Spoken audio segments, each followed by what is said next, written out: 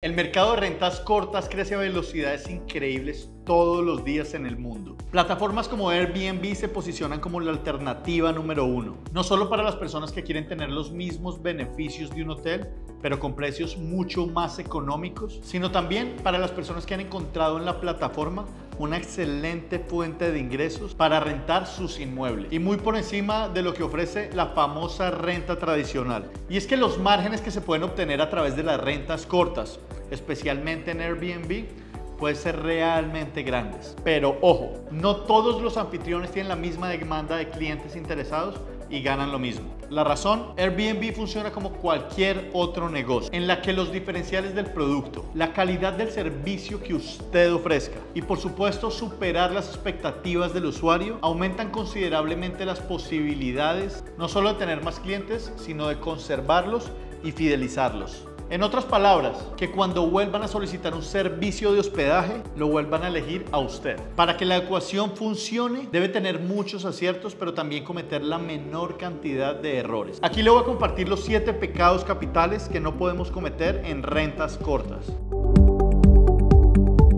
Número 1. Subir información incompleta a la plataforma. Véalo de esta manera.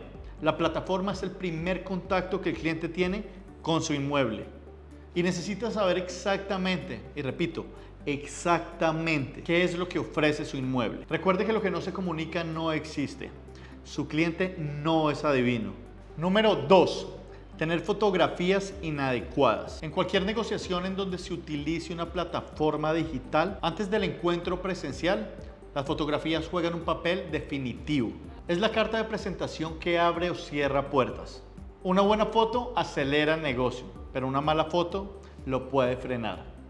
Y ojo, no se trata de engañar o mostrar lo que no es, simplemente de destacar de la mejor forma la realidad. No hay nada más injusto que una foto que no le haga honor a la realidad. Número 3. Experiencia de reservas negativas. Siempre, siempre, siempre póngase en el lugar del cliente. Hágale la vida fácil. Mejor dicho, que reservar su inmueble se convierta en una experiencia agradable, inolvidable y placentera. Siempre cumpla lo que prometa y siempre, siempre supere las expectativas. No hay nada más decepcionante que el incumplimiento de una promesa de valor. Número 4.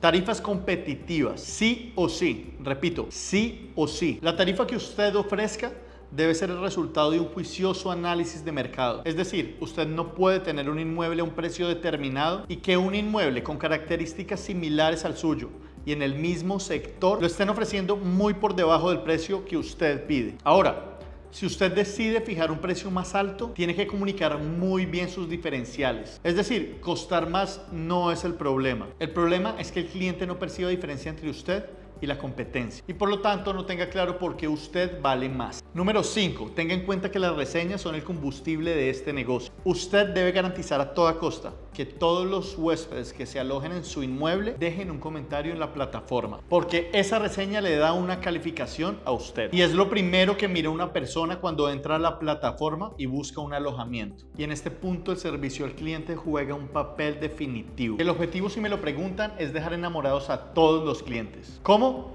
Con pequeños detalles. Un café caliente en la mañana, un mensaje de bienvenida escrito a mano, asistencia y disponibilidad permanente para solucionar cualquier contratiempo. Algo importante, usted debe motivar a sus clientes para que dejen una reseña, dado que no todos la dejan. Sea específico y pídaselo.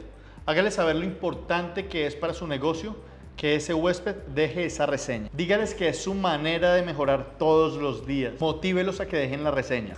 Un descuento futuro, un obsequio, un detalle. Al fin y al cabo, esa reseña se traduce en más clientes y en más rentabilidad. Número 6 casarse con una sola plataforma. Sin duda, Airbnb es la plataforma líder actualmente, pero también hay muchas otras buenas que vale la pena considerar. Puede haber clientes que no ingresen a Airbnb y usted se esté perdiendo de un mercado interesante. Booking, TripAdvisor, Verbo son algunas de las plataformas más reconocidas. Y número 7, cancelar una reserva que ya había confirmado. Imagínense que usted realiza una reserva, se la confirma y días u horas después se la cancela. Es algo así como cuando las aerolíneas sobrevenden tiquetes. Faltar a la palabra le quitará clientes que nunca más regresarán. y se encargarán de decirle a muchas personas la mala experiencia que tuvieron con usted. Y estos son los siete pecados capitales que le pueden hacer perder ingresos o clientes si usted decide usar la plataforma de Airbnb o cualquier otra. Téngalos muy presentes para que no los vaya a cometer. Y si ya cometió alguno, recuerde que lo importante de los errores es aprender a identificarlos para no volverlos a cometer. Nos vemos en un próximo video para seguir hablando de estrategia inmobiliaria.